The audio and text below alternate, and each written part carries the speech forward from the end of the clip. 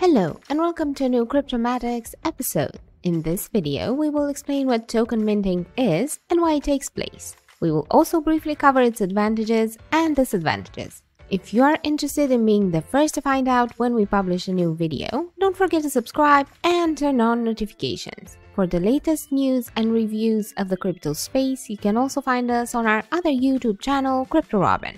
What is token minting? An altcoin will always be available in a decentralized network which, at its origins, aims to solve a certain problem. Tokens are issued to allow blockchain to exchange values and develop, thereby stimulating the economy. Therefore, tokens have functional value that results precisely from their use in the economy. A minted token refers to any legitimate token of a cryptocurrency. In the crypto world, the process of minting is equivalent to the issuance of a fiat currency by a central bank, which thus puts it into circulation in the real world. Such a token is a legitimate cryptocurrency, the supply of which is not fixed, which allows the owner to be able to mint many other tokens of the same kind whenever they want. For this, a minting method is included in the token contract, which will later enable the token minting. Similarly, a method of disabling the minting process can also be added in order to stop it irreversibly. Mintable tokens and mineable tokens. Tokens that can be obtained through crypto mining are created or issued, minted, strictly on the basis of specific activities and are usually limited by the consensus mechanism of the respective blockchain, which is proof of work and thus allows obtaining new tokens native to the network. Mining involves solving very complex mathematical equations and adding the solution to the transaction data to confirm it depending on the terms set by the blockchain protocol. Crypto mining also serves other purposes such as securing the network and sealing new transactions in blocks. Mintable tokens are also an alternative to creating new tokens, but obtaining them does not depend on any specific and necessary activity. As a contract creator, a user will be able to create a new token whenever they want. The minting of these tokens is done by sending a transaction that creates new tokens within the framework of a smart contract specific to this function. With the help of the smart contract function and within the systems that allow it, an unlimited number of tokens can be created without spending additional energy or money. What is token supply? A central component of tokenomics is the supply of an asset. There are three coordinates of the supply that we usually look at the circulating supply, total supply, and maximum supply. If for some assets the supply is a fixed one, for others it may be unlimited.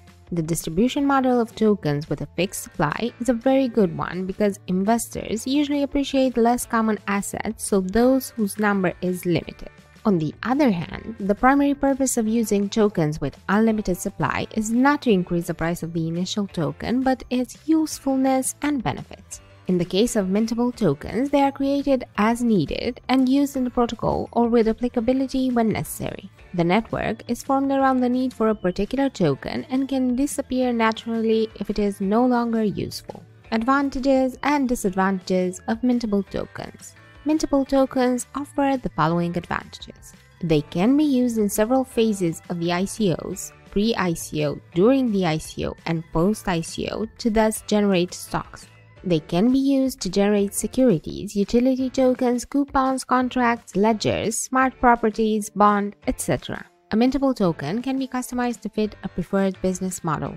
On the other hand, they also have disadvantages as follows. Minted tokens can boost inflation. If the number of minted assets increases, total supply also increases, which will lead to a decrease in the price. Asset distribution. To establish proper incentives and avoid centralization, a very large number of users or investors must own these assets. Projects with mintable supply. DAI is a stablecoin that is pegged to the USD, built on Ethereum, decentralized, and used in the MakerDAO system. Status is a utility token that feeds a decentralized push notification market and ensures governance in the status network and creation of user-generated content on the network. Mana. This is Decentraland's ERC20 token which can be minted and then burned. In order to obtain non-fungible land tokens on Decentraland, mana tokens go through the token burning process.